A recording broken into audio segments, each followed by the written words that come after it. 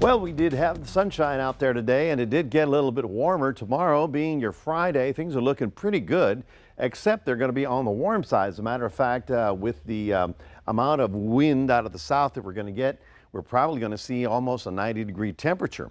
Now, back uh, to the east coast, remember that cloud cover that was over us last couple of days? Where is it now? It's over Florida. That's what they're getting uh, because that's where they got the big uh, thunderstorms. Earlier today, they were under that tornado watch that ruled, rolled through the Tampa area.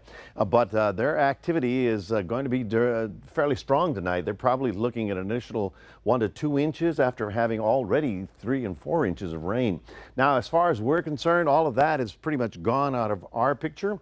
we don't have to worry about that. As a matter of fact, for the next couple, for the next day, we'll be just on the warm side of things until our little frontal system comes down into Texas gives us a nice north wind. Right now, it looks like it may trigger a few little light showers north of us. This would be on Friday night. But on Saturday morning, it all blows through here, and then all of a sudden, we've got you know, I mean, I don't want to oversell it, but it's going to be spectacular weekend. Low temperatures uh, getting into the 50s. Daytime highs in the mid upper 70s, almost 80 maybe, uh, but abundant sunshine and some very pleasant weather. Now, on Saturday, I wanted to show you what we're continuing to talk about the eclipse. What happens is that the sun, of course, it's not to scale, the sun's really much larger. The moon gets between us and the sun.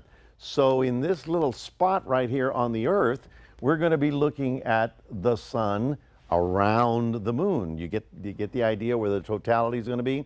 And, and that's a very rare occurrence that it comes right over our homes. So uh, it's going to be right on top of us between 11 a.m. and noontime on Saturday. I'm telling you, a lot of people are going to be out there watching. And that's what we got to remind everybody. Unless you have the glasses that have the right film, if you have welder's glasses, it has to be a number 13, okay?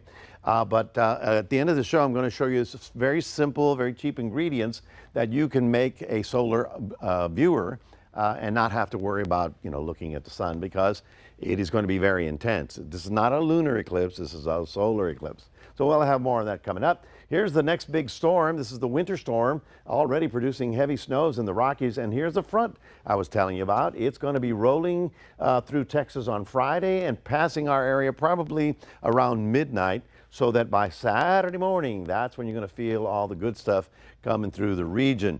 If you get a chance, oh, and there's the path of totality. This is where uh, this green line is where the um, we're going to see the best uh, what they call the ring of fire, basically the sun around the edges of the moon. It's really an optical illusion. I mean, it's not anything earth-shattering, but it is fairly unique that you get to see it.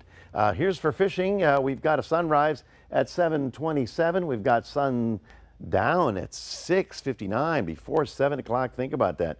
Uh, it's going to be very nice on Friday. Saturday's going to be a little breezier out of that northwest wind. Looking for a high of 90 tomorrow in Port Lavaca. Looking for a high of 91 in the Cuero area. And here's what I'm looking at. I'm looking at that frontal system after the football games. Saturday morning, breezy and cooler. Nighttime lows getting down into the 50s. Daytimes only in the upper 70s. That's your seven day forecast. Want to remind everybody we do have a QR code. Love for you to scan that and put Crossroads today on your phone. James,